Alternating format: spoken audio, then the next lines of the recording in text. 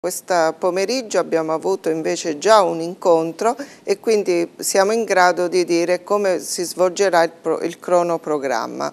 Abbiamo deciso di aprire la piattaforma da lunedì 10 dove ci si può iscrivere e dal 20 maggio iniziano le vaccinazioni all'over 50. Ah, bene, questa Quindi è una notizia. È una notizia perché è la dimostrazione di come si sta lavorando eh, oggi pomeriggio proprio c'è stato un incontro e questi sono stati gli indirizzi e le linee guida che abbiamo dato.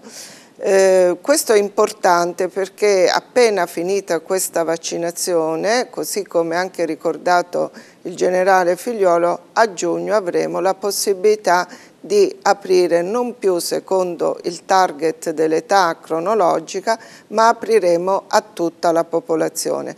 Questa è la risposta che il generale ha dato nel momento in cui è stata posta la domanda quando apriremo ai livelli essenziali, quando apriremo alle attività produttive.